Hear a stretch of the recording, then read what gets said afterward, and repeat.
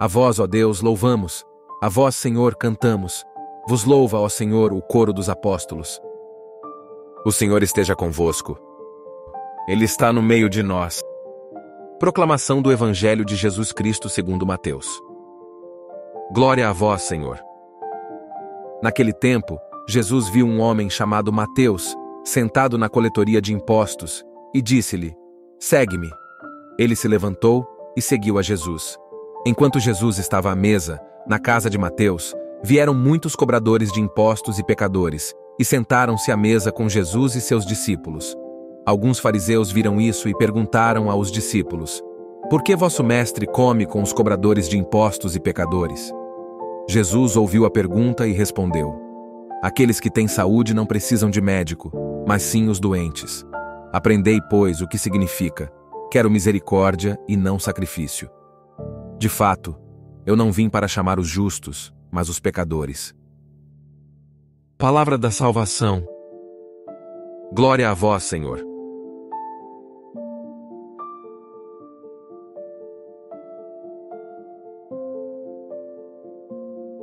Essa passagem do Evangelho, que narra o encontro de Jesus com Mateus e a subsequente refeição na casa deste último, nos oferece uma profunda reflexão sobre a misericórdia, a inclusão e o propósito da missão de Jesus.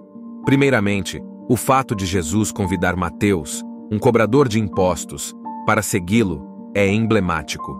Os cobradores de impostos eram frequentemente vistos como pecadores e colaboradores do sistema de opressão romano.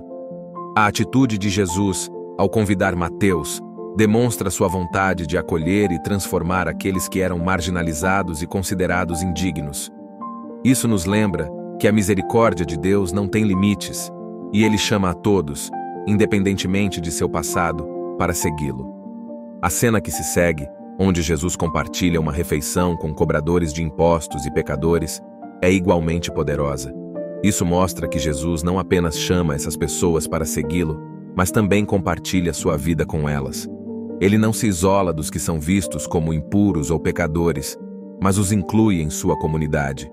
Essa atitude nos desafia a acolher aqueles que são diferentes de nós, a mostrar compaixão e a compartilhar nossa mesa com os marginalizados. A pergunta dos fariseus, por que vosso mestre come com os cobradores de impostos e pecadores? destaca a divisão entre os que se consideravam justos e os que eram rotulados como pecadores. A resposta de Jesus, aqueles que têm saúde não precisam de médico, mas sim os doentes, revela a essência de sua missão. Ele veio para curar, salvar e transformar os pecadores, para oferecer a todos a oportunidade de se arrependerem e se reconciliarem com Deus. A frase, quero misericórdia e não sacrifício, enfatiza a importância da misericórdia sobre a religiosidade vazia. Deus valoriza mais o coração quebrantado e a busca sincera por ele do que rituais vazios. Jesus veio para nos mostrar que o cerne da fé está na misericórdia, na compaixão e no amor ao próximo. Portanto, essa passagem nos lembra que a mensagem de Jesus é para todos, independentemente de seu passado ou status social. Ele nos convida a praticar a misericórdia, a inclusão e a humildade, e nos desafia a não julgar os outros, mas a amá-los como ele nos amou. É um chamado para olhar além das aparências e ver o potencial de transformação em todos os seres humanos. A paz de Cristo e o amor de Maria. Tia Alessandra. E aí, povo de Deus? Gostaram do evangelho de hoje? Não esqueçam de se inscrever, curtir e comentar. Isso ajuda muito no crescimento do nosso canal. Beijos da tia Alessandra.